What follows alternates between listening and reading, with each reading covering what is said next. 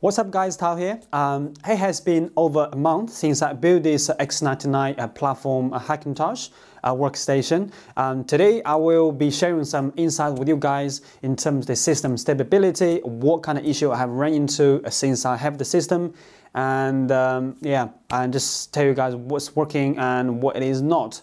And if you're interested, stay around.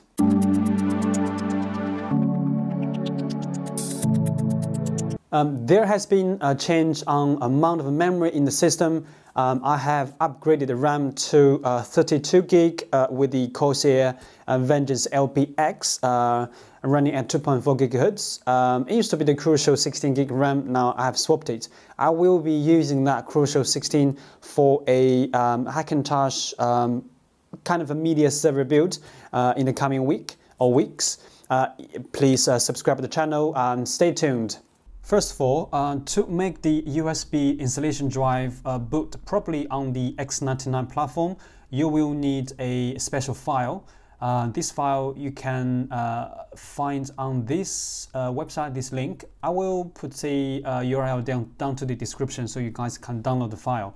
Now this, is, this file will allow the USB drive to boot and install the OS, Mac OS onto the X99 platform. So you will need to place the file into the EFI file uh, folder um, on your installation drive. So you need to replace the file into the uh, driver 64 uh, UEFI.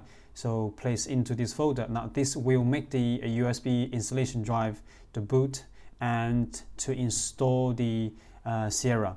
After the installation, you will need to uh, place the same file uh, onto the um, OS drive and that will make the OS drive bootable. So that this is very, very important. Now, next is the MultiBeast installation. Uh, the following uh, options is my personal suggestion, but you can um, play around to tweak the uh, drivers if you want to, but this is my recommendation. So uh, the quick start, choose the uh, EFI, uh, UEFI boot mode. So that will install the, the Clover and the FakeSMC and the system definition. So this will make the system to uh, do a basic boot. And uh, the drivers, now the audio driver I personally is not bothered uh, because there are a lot of issues with the, the audio drivers. So, but you know, you can use the Voodoo driver. I personally have a U USB uh, audio adapter so that is working perfectly fine for me uh, now in terms of disk I will suggest you choose the third party SATA and uh, Intel generic and also the fake uh, SMC will be installed by default once you choose the quick start but I will suggest you choose the uh, uh, new CPU power management that actually will disable it but uh, once you install the um, Clover, this actually uh, will enable the uh, native CPU power management. And also very, very important is the Voodoo TSC sync. So choose the one appropriate because this one is 6 core, so I'll be choosing the 6 core. Uh, network, to be honest, I've never had an issue with networks. They will, the system will, rec uh, will recognize the um, the network adapter natively, but if you want to install, install the driver according to your uh, chipset. So now the USB, I this be a tricky bit. So this the uh, this bit I had a slight issues. Um, I would suggest you choose the uh, 789 series USB support and um, increase the maximum port limit of the 9 series only if you want to go with the 99 X99 platform. Um, choose these two and to see how the uh, USB port perform if it recognizes all the USBs and then you can tweak from there. And the bootloaders will be uh, select automatically. And this you probably not necessarily, but you know if you do use a NVIDIA graphics card, uh, make sure you choose the NVIDIA WebDriver boot flag. So that will enable the uh, web drivers. So because I'm using NVIDIA, so yes, I will choose that.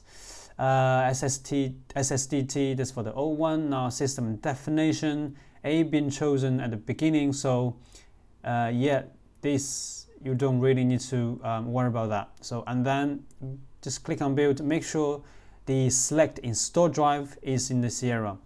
And after that, the system will re reboot the system. You should be able to um, boot into the uh, OS uh, without any issues from there, and um, you can start uh, tweaks. So, uh, what issues I had? Um, honestly, the big issue um, after the build, sometimes when you're not uh, using the a system for a long while, suddenly go back into it, so the system just suddenly experience extremely slowness. Um, and also, uh, the, all the USB 3 ports are not 100% detected uh, until this date. Uh, it's only uh, two USB ports which is on the same chip with the Ethernet. I think it's on the same chip with Ethernet. So only those two, uh, and also the USB 3 headers is properly detected, but everything else detect as USB 2. Uh, but that's not the issue. I'm 100% okay with that. So I have two front USB 3s and two uh, rear USB 3s. So that's more than enough for me. Um, yeah.